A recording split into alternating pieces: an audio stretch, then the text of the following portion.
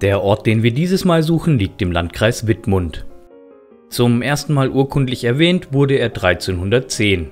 Seine Geschichte reicht aber bis in das frühe Mittelalter. Vor allem wurde hier Handel betrieben und auch heute gilt der Ort als Einkaufsstadt.